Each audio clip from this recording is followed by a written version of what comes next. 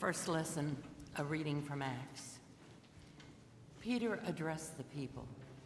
You Israelites, why do you want, wonder at this, or why do you stare at us as though by our, our own power or piety we've made him walk?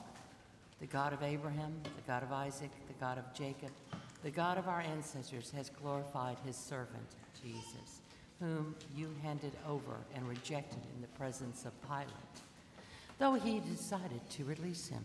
But you rejected the holy and righteous one and asked to have a murderer given to you. And you killed the author of life, whom God raised from the dead. To this we are witnesses.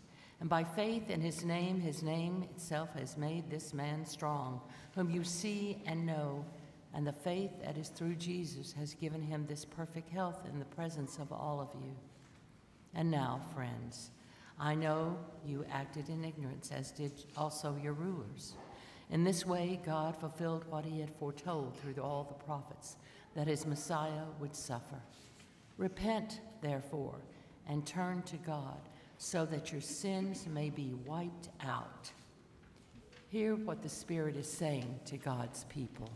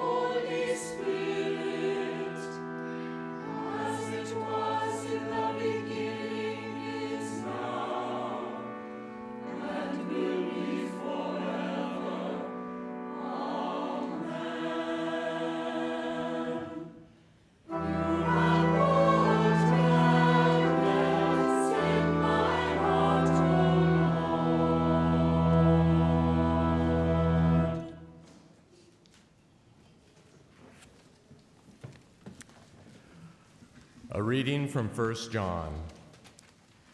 See what love the Father has given us, that we should be called children of God, for that is what we are. The reason the world does not know us is that it did not know Him. Beloved, we are God's children now. What we will be has not yet been revealed. What we do know is this when He is revealed, we will be like Him, for we will see Him as He is. And all who have this hope in him purify themselves, just as he is pure. Everyone who commits sin is guilty of lawlessness. Sin is lawlessness. You know that he was revealed to take away sins, and in him there is no sin. No one who abides in him sins. No one who sins has either seen him or known him. Little children, let no one deceive you. Everyone who does what is right is righteous, just as he is righteous. Hear what the Spirit is saying to God's people.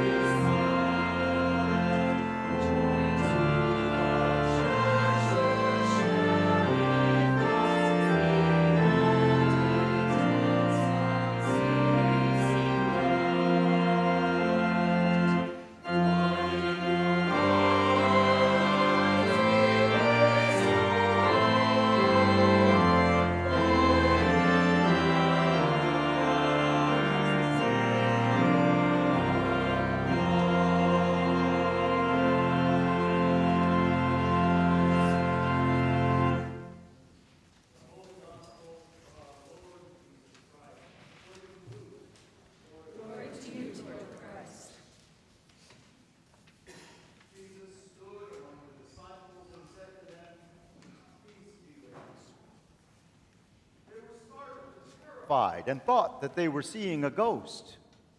He said to them, Why are you frightened? And why do doubts arise in your hearts? Look at my hands and my feet. See that it is I myself. Touch me and see. For a ghost does not have flesh and bones, as you see that I have. And when he had said this, he showed them his hands and his feet. While in their joy they were disbelieving and still wondering, he said to them, Have you anything here to eat? They gave him a piece of broiled fish, and he took it and ate in their presence. Then he said to them, These are my words that I spoke to you while I was still with you. That everything written about me in the law of Moses, the prophets, and the Psalms must be fulfilled. Then he opened their minds to understand the scriptures. And he said to them, Thus it is written that the Messiah is to suffer and to rise from the dead on the third day, and that repentance and forgiveness of sins is to be proclaimed in his name to all nations, beginning from Jerusalem. You are witnesses of these things. The Gospel of the Lord. Praise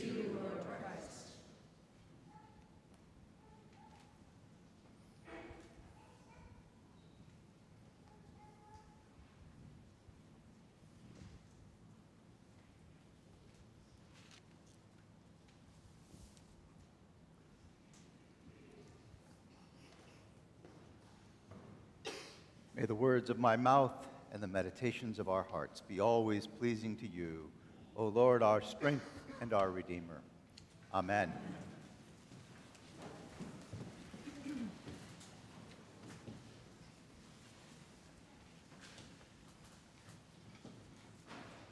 On Thursday, at the Last Supper, Jesus knew he would be arrested, and he was. On Good Friday, Jesus died on the cross, and his body was taken down and wrapped tightly in cloth and anointed for burial. He was placed in a tomb, and the tomb was sealed. The women saw Jesus die. The soldiers confirmed that he was dead and then saw his body taken from the cross. The disciples, those who were brave enough, watched from a distance. And so when the women return from the tomb and report that the tomb is empty and that two angels had told them that Jesus is alive, the other disciples think that they are delusional. They are making things up or seeing things that are not there even after Peter and the others go to the tomb and see that it is indeed empty, they do not believe. Later that day, Cleopas and his companion are walking to Emmaus. You remember that story. And as they are walking, Jesus encounters them and sees that they are sad. They do not believe that Jesus is alive. As amazing as the women's story is, even after Peter confirms that the tomb is empty, they do not believe that Jesus has risen. They do not believe that resurrection is even possible. Jesus finally appears, as we just heard, standing among the disciples. And even with all the messages, he told them that this would happen three times he told them that this would happen. But even with that, and with all the messages from the angel and from the women, they are terrified. They think that he must be a ghost. So Jesus shows them his hands and his feet so that they can touch the wounds of his crucifixion and know that he is flesh and blood. But even then, they continue to disbelieve and to wonder. Jesus is there, standing among them. They can touch him, see him, smell him, and they are filled with joy. The one they love is back. The one who promised them the love of God is back. But wait, he died. He was buried. We saw him taken down from that cross. How can this be? And in that moment, joy and doubt are swirling around within their hearts and their minds. If you have ever doubted the resurrection, you are in good company. Jesus stands among them. They see him, they touch him, they feel his warmth and the rough edges of his wounds, and still they doubt. If you want to believe in the resurrection but you struggle, if you want to believe that Christ is risen, but in your mind you know that dead is dead, well then, you know how the first disciples felt. Even those who love Jesus and want with all their hearts for the resurrection to be real, even they can struggle. We know that something happened. And we know that somehow Jesus is still making a difference in our lives and in the world around us. So we do what the first disciples did we decide that he must have been a, a spirit or a ghost or somehow God made these things happen, but not a resurrected human being. Then Jesus asks for some food. Ghosts don't sit down and eat a meal. Spirits don't share in the appetizers. No, that's what people do. We sit down and we eat with family and friends. Sharing a meal is one of the most human things we can do. The resurrection is an unbelievable event, and yet here is Jesus sharing a snack with his friends. Now, this is a paradox. It's hard to believe, it's hard to understand. We hear the stories of the resurrection and we struggle with our doubts, just as the first disciples did. We struggle with doubt like the first disciples, and like them, we go forward with our faith and our doubt. We share in the joy of Easter even as we wonder. And here's the thing we are community of faith. And that faith provides a nurturing context in which we can live with our doubts. In our faith, we know that God is present in the world. We see it, we experience it. We can trust that when we recognize and honor the humanity of another, we also encounter the divine in them. Now, there is such a temptation to think of resurrection as a purely spiritual event. Jesus appears inside locked rooms. He appears after being buried. We try to rationalize this by imagining a spiritual, ethereal, or other worldly explanation. Jesus ate broiled fish. And that reminds us that he is human and the resurrected Christ is human. Now, there are two reasons why this is so very important. First, if Jesus is a spirit and not human, how can we ever follow him in his life? If the resurrected Christ is something other than human, why then resurrection life is not available to us in this very human life that we are living? And so Jesus ate a piece of broiled fish to show us that resurrection life is real life. Resurrection life is available to us here and now, not just after we die and go to heaven. And the second reason that this is so very important is that Jesus' bodily, the, the second reason that Jesus' bodily resurrection is so important is that Jesus did not appear as a spiritual manifestation. He appeared as a human being with wounds, with feelings, with compassion and love. The resurrected Christ, in all his fish eating humanity, shows us that God can be found in our fellow human beings. As a community of faith, we strive to share the love of Christ. We have learned through experience that when we love generously and care for others, we experience love ourselves. When we offer care to the marginalized, to the hungry, the poor, the homeless, the sick, and those in prison, we experience an abundance of love ourselves. When we see and recognize the true humanity of others, we also see and recognize the risen Christ. We find Christ when we honor the humanity in others, and it all started with Jesus eating some broiled fish. We still have our doubts. The resurrection is hard to understand and hard to believe, but resurrection life is actually available to us here and now.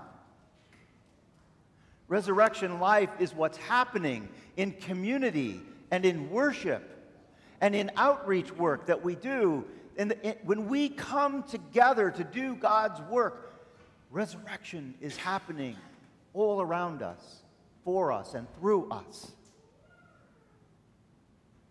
So I want to leave you with a two part challenge this week. First, I want you to live your life as though resurrection is happening all around us. Live your life this week as though Christ is risen and you are likely to encounter Christ at any moment. Live your life as though Christ is risen and you might just see Christ in the face of the next person you meet. Go into your week and your life expecting to see Christ. That's the first part of the challenge. And the second part is important as well. While you are looking for Christ in others, I want you to do your best to bring Christ to them. Share the forgiveness, compassion, generosity, and love that God so generously gives us. Share it with others. You will be looking for the risen Christ in others, and you will be striving to be a person in whom they can recognize Christ. Live your life as the resurrection is happening all around us. Because it is. That is what this community of faith provides. It provides this context in which we can recognize that the love and the forgiveness and the compassion and the caring and the generosity that we see occurring all around us day after day, moment to moment, that that is a sign of God's love. That is a sign of the breaking in of God's kingdom. That is what our faith teaches us. We still doubt we still struggle with the details, and that's fine. No problem. The joy of Easter is real and available to us every day. And in this context, there's room for our doubts as well. And in those doubts, we grow together, we deepen our understanding, we grow in our capacity to recognize Christ in others. Christ is risen and resurrection life is happening all around us.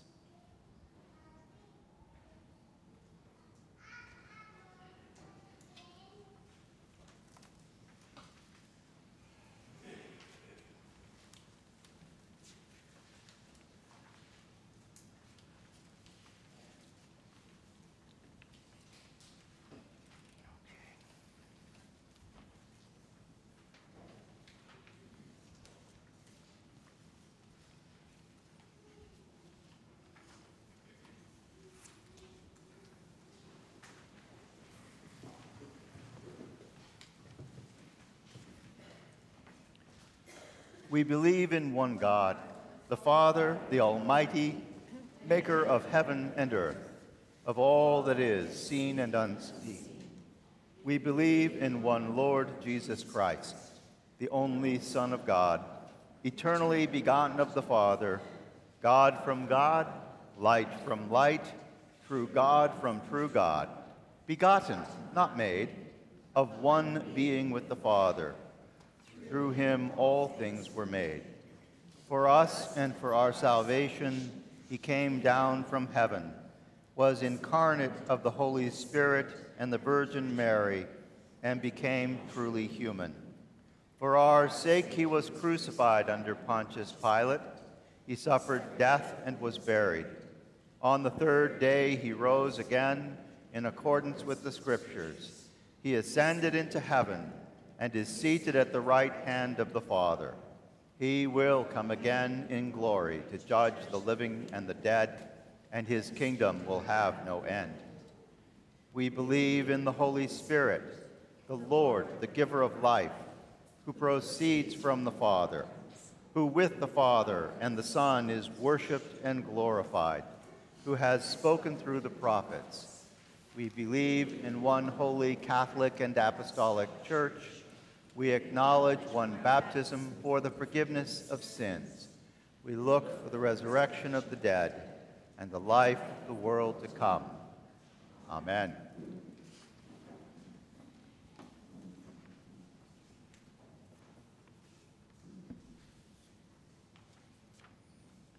Christ, the stone which the builders rejected, God has made the cornerstone of a new community. In that name by which we are founded, let us draw near in confidence, saying, Lord, have mercy. The risen Christ opened the minds of the disciples to understand the Scriptures. May the church find in the Scriptures healing, mission, and good news for all. For this, let us pray to the Lord. Lord, have mercy. Christ showed wounded hands and feet to his unbelieving apostles. May we see the risen one in all the wounded of our world. For this, let us pray to the Lord. Lord, have mercy. Christ, our cornerstone, intercedes for us before God. Let us and all in authority heed God's call for justice in the church, in our community, and in the nation. For this, let us pray to the Lord. Lord, have mercy. We are saved by a God who is light, in whom there is no darkness at all. Let us beg for God's light in those places which seem darkest. Let us ask that God enlighten all who inflict darkness on others. Let us ask that God shine on those who are victims of evil. For this, let us pray to the Lord. Lord, have mercy. In the power of Christ's name, we are healed. Let us recall all who need healing and all in the healing professions. For them, let us pray to the Lord. Lord, have mercy. Loving God, you have glorified your Son Jesus and given him the name by which we are saved. Give us the courage to act in his name. Accept our praise offered in his name, for we offer this prayer through and with and in Jesus, your Son and our Savior. Amen. Let us confess our sins against God and our neighbor.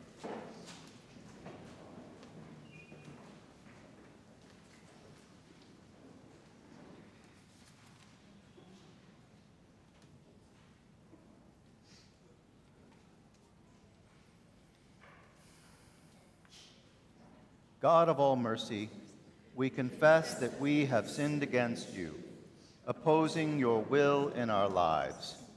We have denied your goodness in each other, in ourselves, and in the world you have created. We repent of the evil that enslaves us, the evil we have done, and the evil done on our behalf.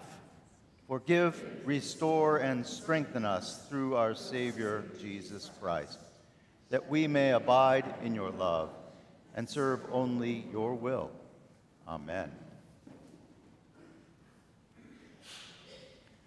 Almighty God, have mercy on you, forgive you all your sins through our Lord Jesus Christ, strengthen you in all goodness, and by the power of the Holy Spirit, keep you in eternal life. Amen. Amen.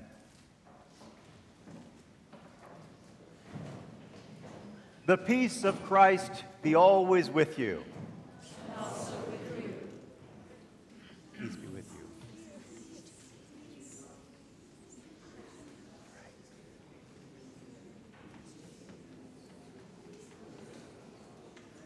Peace be with you.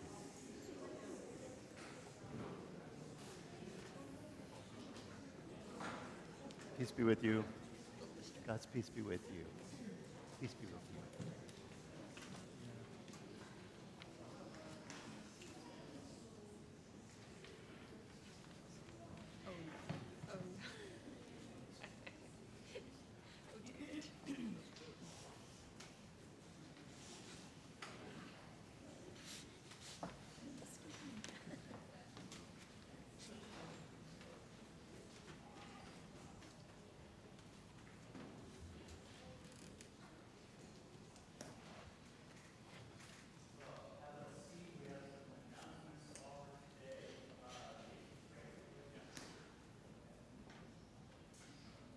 At the annual general meeting, we elected two delegates to go to the diocesan uh, convention, and I submitted those names and was told we get to have one more.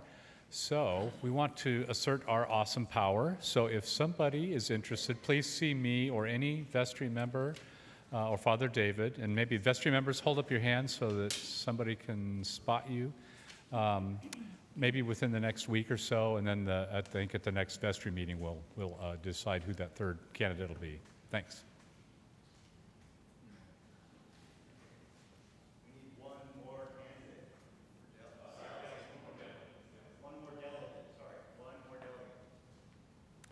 Good morning. If you'll take your bulletins, right where we left off on page seven, there's going to be something just a little bit different coming up, and I want to draw your attention to it.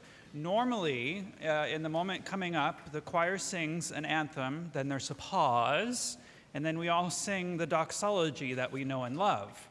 Today's a little different. You'll notice the instruction it says, All join for final verse as presentation hymn. So the choir will sing uh, five verses of this familiar hymn, O sons and daughters, and then there will be a very brief breath, and then we'll all come in singing those words in bold that you see on page seven. We'll stand and join uh, in singing those words. We'll go back to normal next week, I promise.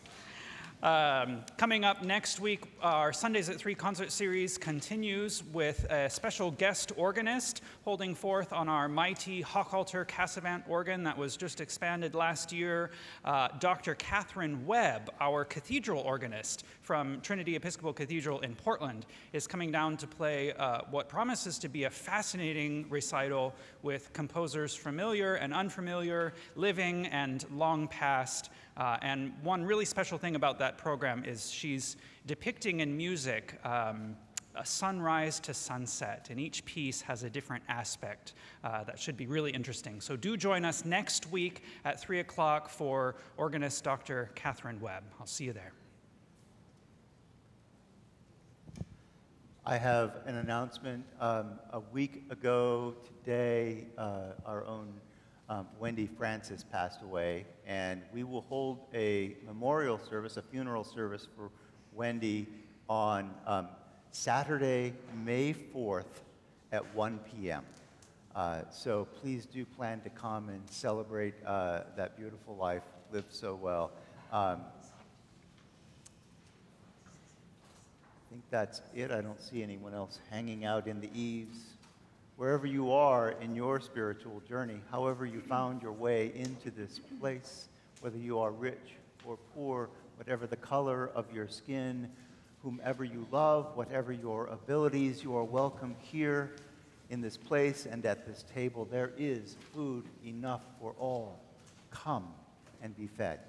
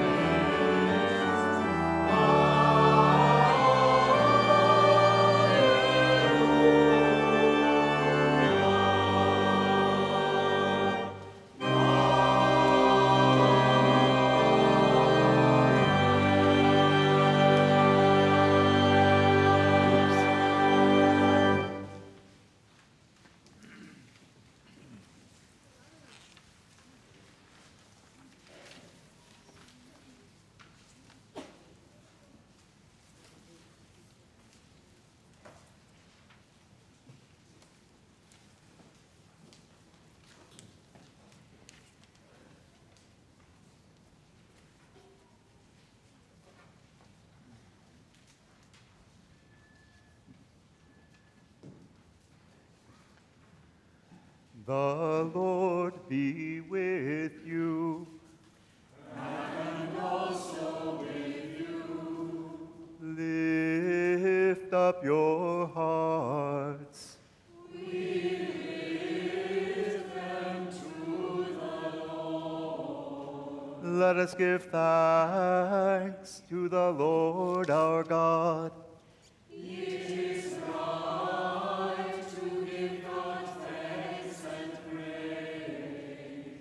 It is right and a good and joyful thing, always and everywhere to give thanks to you, Father Almighty, Creator of heaven and earth. But chiefly are we bound to praise you for the glorious resurrection of your Son, Jesus Christ our Lord. For he is the true paschal lamb who was sacrificed for us and has taken away the sin of the world. By his death he has destroyed death and by his rising to life again, he has won for us everlasting life. Therefore we praise you, joining our voices with angels and archangels, and with all the company of heaven, who forever sing this hymn to proclaim the glory of your name.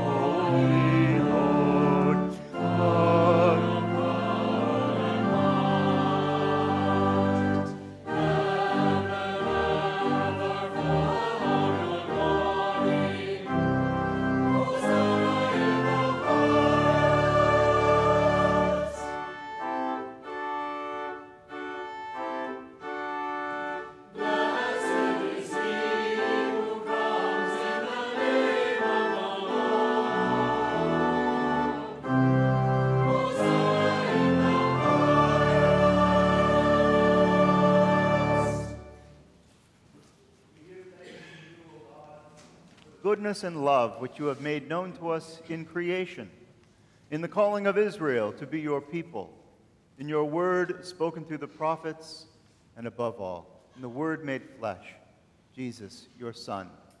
For in these last days you sent him to be incarnate from the Virgin Mary, to be the Savior and Redeemer of the world.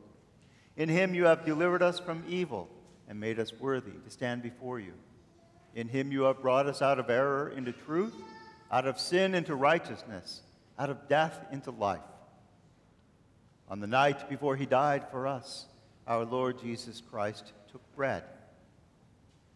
And when he had given thanks to you, he broke it and gave it to his disciples and said, Take, eat. This is my body, which is given for you. Do this for the remembrance of me.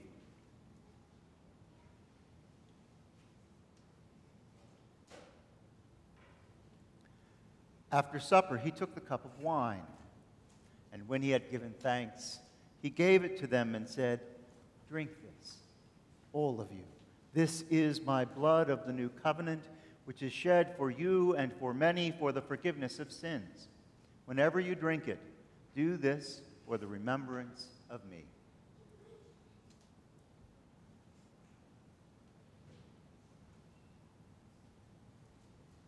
Therefore, according to his command, O Father, we remember his death. We proclaim his resurrection. We await his coming in glory. And we offer our sacrifice of praise and thanksgiving to you, O Lord of all, presenting to you from your creation this bread and this wine. We pray you, gracious God, to send your Holy Spirit upon these gifts, that they may be the sacrament of the body of Christ and his blood of the new covenant. Unite us to your Son in his sacrifice, that we may be acceptable through him, being sanctified by the Holy Spirit. In the fullness of time, put all things in subjection under your Christ, and bring us to that heavenly country where, with all your saints, we may enter the everlasting heritage of your sons and daughters. Through Jesus Christ our Lord, the firstborn of all creation, the head of the church, and the author of our salvation.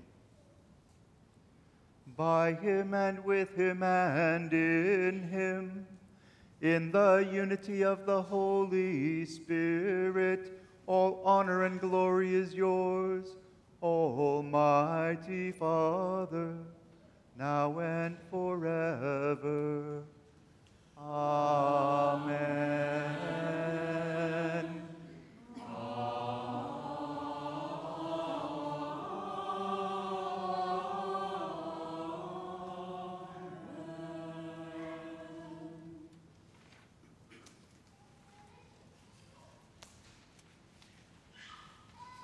And now, as our Savior Christ has taught us, we are bold to say, Our Father, who art in heaven, hallowed be thy name. Thy kingdom come, thy will be done, on earth as it is in heaven. Give us this day our daily bread, and forgive us our trespasses as we forgive those who trespass against us. And lead us not into temptation, but deliver us from evil. For thine is the kingdom, and the power, and the glory, forever and ever. Amen.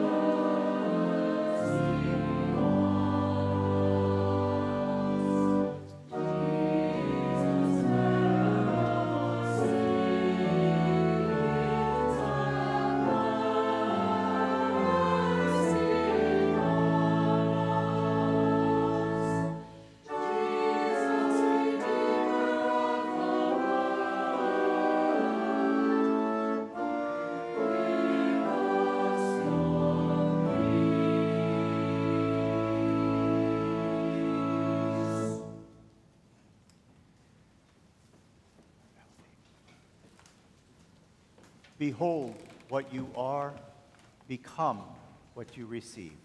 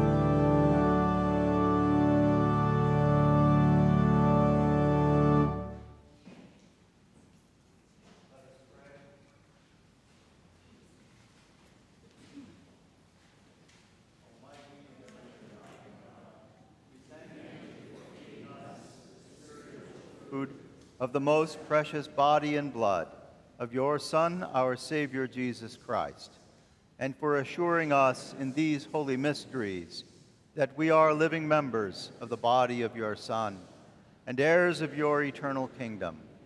And now, Father, send us out to do the work you have given us to do, to love and serve you as faithful witnesses of Christ our Lord. To him, to you, and to the Holy Spirit be honor and glory now and forever. Amen. And the wisdom of God, the love of God, and the grace of God strengthen you to be Christ's heart and hands for this world. In the name of the Father, and of the Son, and of the Holy Spirit. Amen.